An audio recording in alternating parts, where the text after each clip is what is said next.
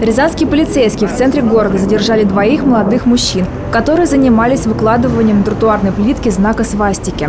Инцидент произошел возле дома по Первомайскому проспекту, где шли ремонтные работы на тротуаре. Двое молодых людей 24 и 25 лет, используя плитку, выложили на пешеходной дорожке фашистский знак. Свой поступок задержанные внятно объяснить не смогли. Оказалось, что оба молодых человека являются безработными, а на творческий порыв они решились, чтобы отвлечься от компьютерных игр.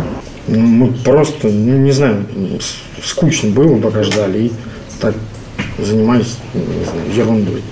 Можно так сказать. Ну, у вас что получилось в конце концов-то? В конце концов у нас получилось типа свастика и... Чисто из шуточных таких побуждений. Вот. Стояли, пинали кирпичики вот эти. Угу. Вот. Ну и так вот вроде как получилось не очень хорошие дела такие. Что получилось конкретно? Какой-то знак, символ такой дурацкий. Особое удивление у полицейских вызвал тот факт, что все это совершалось в центре города средь бела дня. И никто из мимо проходивших граждан не среагировал или просто не сообщил о происшествии в правоохранительные органы.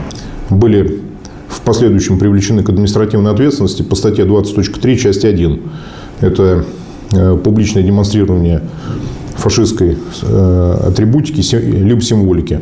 Хотелось бы напомнить жителям города Рязани, что по статье 20.3 Кодекса об административных правонарушениях предусмотрен штраф в крупном размере, либо э, арест до 15 суток. За такие художества молодые люди довольно легко отделались. Суд назначил им по 2000 рублей штрафа каждому.